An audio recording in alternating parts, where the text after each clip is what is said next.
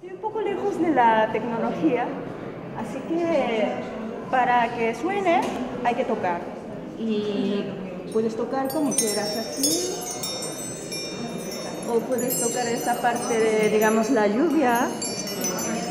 Aquesta escultura, inspirada en les gotes de la pluja, és una de les 27 obres que es mostren a síntesi.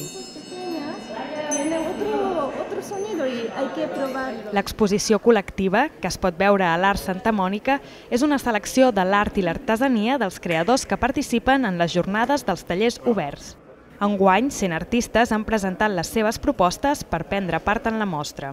Hi ha diferents llenguatges artístics, hi ha molta experimentació amb diferents materials, hi ha creuament de disciplines, per tant molta interdisciplinarietat, i crec que realment és una mostra molt rica del que representa la creativitat aquí a Barcelona i a Catalunya.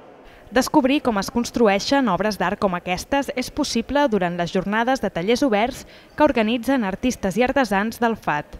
Prop de 250 tallers de la ciutat obren les seves portes durant els caps de setmana del mes de maig, amb aquesta iniciativa que té més de 21 anys de vida.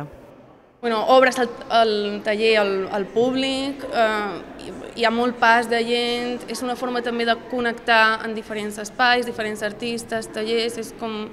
Jo penso que és, que és molt bona experiència. Es que en mi espacio, por ejemplo, hay muchas cosas raras y hay cosas que no está acabada todavía.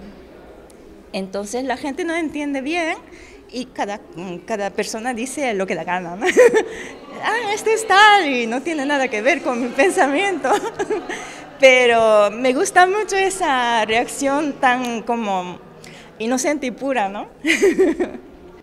A més, Tallers Oberts també estrena col·laboració amb el MACBA, que obre les portes del seu taller de restauració i les del fons de la seva col·lecció, dues zones d'accés restringit.